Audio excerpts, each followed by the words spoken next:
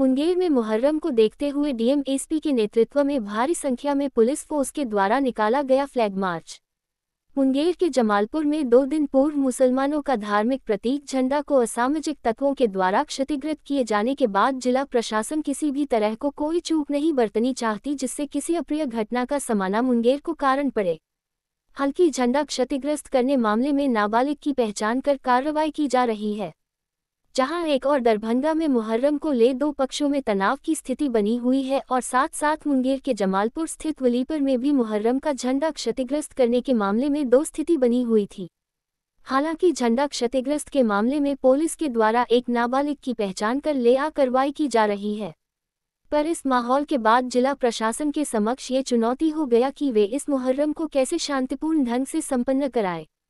उसी को ले आज मुंगेर डीएम नवीन कुमार और एसपी जगुनाथ रेड्डी, जला रेड्डी के नेतृत्व में भारी संख्या में पुलिस फोर्स के द्वारा मुंगेर और जमालपुर के वालीपुर में फ्लैग मार्च निकाल लोगों अपील किया कि शांतिपूर्वक और आपसी भाईचारे के साथ मुहर्रम मनाए।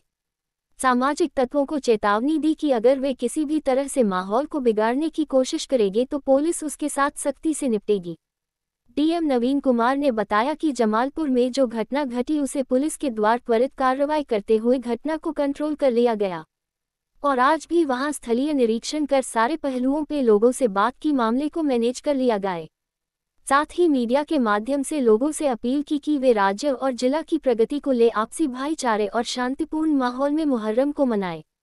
वहीं एसपी जगुनाथ रेड्डी, जला रेड्डी ने बताया कि ज़िले में 750 जिला बाल के साथ साथ मुख्यालय से मिले 310 अतिरिक्त पुलिस बल को ज़िले के विभिन्न जगहों पर लगाया गया है। और डीएपी, इंस्पेक्टर रैंक के अधिकारी भी इसे मुहर्रम के दौरान शांति व्यवस्था बनाने में अपनी योगदान दे रहे हैं। ज़िले में चौकसी बढ़ती जा रही है और फोर्स मजिस्ट्रेट और अन्य अधिकारियों का डिप्रेशन किया गया है। कल S D O S D P O के द्वारा फुल फ्लैग मार्च निकाला गया था। आज मैं और एस पी साहब कंबाइंड फ्लैग मार्च निकाल रहे हैं। जो सेंसिटिव प्लेस है उन लोगों का वहाँ का भ्रमण हम लोग करना है। और साथ ही साथ स्थल पे जाके ब्रीफिंग भी हम लोग कर रहे हैं। पूरी चौक चौबंद व्यवस्था की गई है ताकि किसी तरह की कोई अशांति की बात ज़िले में नहीं सर जब वो कन्फ्यूजिंग मैटर था थोड़ा सा कन्फ्यूज़न हुआ था। और उस कन्फ्यूज़न को त्वरित कार्रवाई करते हुए पुलिस पदाधिकारियों के द्वारा उसको रोका गया था और वहाँ पे शांति समिति की बैठक भी कराई गई थी। और पुनः वहाँ पे जो भी अदायत है वो बरती गई है। हम्म। लगातार वहाँ पे फोर्स और मजिस्ट्रेट का डिप्रेशन भी किया गया एस डी एस डी भी वहाँ रहे। और अभी कोई तरह की समस्या नहीं काफ़ी अच्छे माहौल में हम लोग इस पर्व को संपादित कराएँगे। सर एक मैसेज क्या देना चाहेंगे?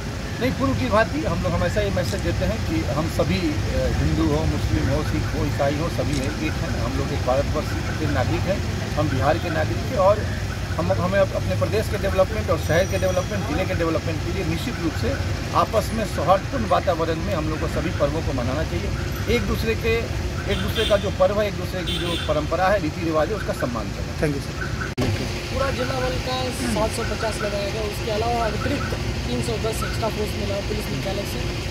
और हमारे जो डी एस पी है, पाँच डी एस पी लोग लगे होंगे और इंस्पेक्टर से। पाँच क्यू आर टी लगाए जो इंस्पेक्टर के नेतृत्व में काम करेगा जो बाइक पार्टी है।